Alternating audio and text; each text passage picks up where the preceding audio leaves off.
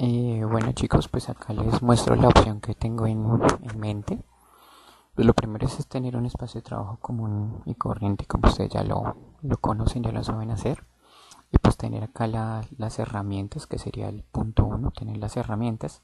Solamente coloco estas, por ejemplo, el pliegue valle, montaña, el de dividir ángulos, el de oreja de conejo, en fin, pues todos los mostrados en el documento. Una vez que se escogen, por ejemplo, en este caso escogería el del pliegue valle, ¿sí? ¿Sí? Pues eh, vamos al paso A donde uno ya previamente ha pues escogido el tamaño del papel y toda esa vaina. Y ahí dibuja eh, o genera la línea pues donde la necesite, en este caso aquí, que es una línea valle. Aquí pues tiene dos posibilidades.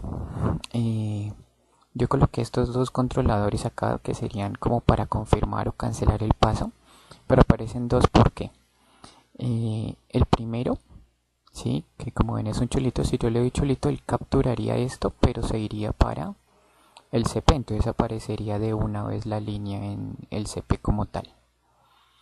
Y si le doy al de abajo, en este caso, pues iría esa capturarlo es a la ventana del diagrama, ¿sí? como un paso de ahí donde aparecería. Entonces, primer paso doble en valle, por ejemplo, y la flechita que se podría acomodar o demás, que son los símbolos que también aparecen en el documento.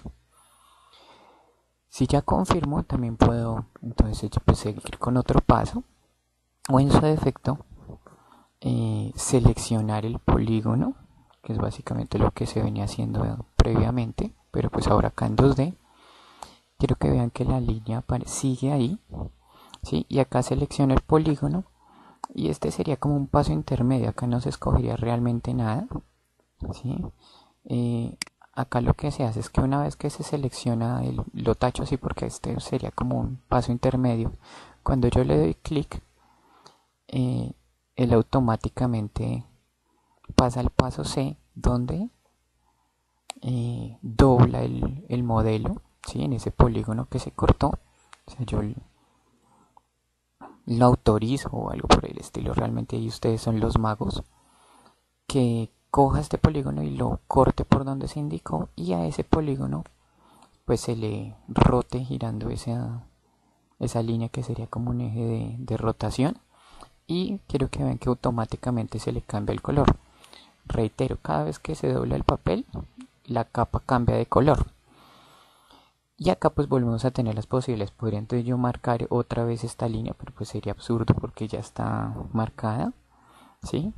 O marcar el paso para que se vaya el diagrama y pues pase al paso 2 que ya sería acá. Y simplemente ya sería cancelar, llamémoslo así, o cerrar o escoger otra herramienta y pues seguir con el siguiente paso. Así en esencia. Les tengo otro ejemplo con múltiples capas que es a lo que quiero saber si se puede o no hacer aquí previamente pues ya he doblado el, modelo en varias entonces en las 1 2 3 4 capas ¿sí? usando la división ¿sí? no aparecen estas líneas ya les cuento cómo aparecerían que es la idea como tengo para solucionar lo de las capas sobrepuestas entonces pues acá ya he doblado el modelo eh, y selecciono otra vez la herramienta, en este caso otra vez la herramienta Valle, la dibujo, confirmo este paso pues para que aparezca en el diagrama, como ven ya previamente habría eh, confirmado el anterior y demás, pero pues no, y aparece pues el, el paso con la flecha y demás. Ahora que cómo se doblaría, pues sabemos que hay muchas capas sobrepuestas, entonces lo mismo, la línea no desaparece ¿sí? La línea es como de referencia y yo confirmo que a este polígono, que es el primero que está ahí, este triángulo, es el que voy a dividir y se divide, luego lo selecciono y lo doblo.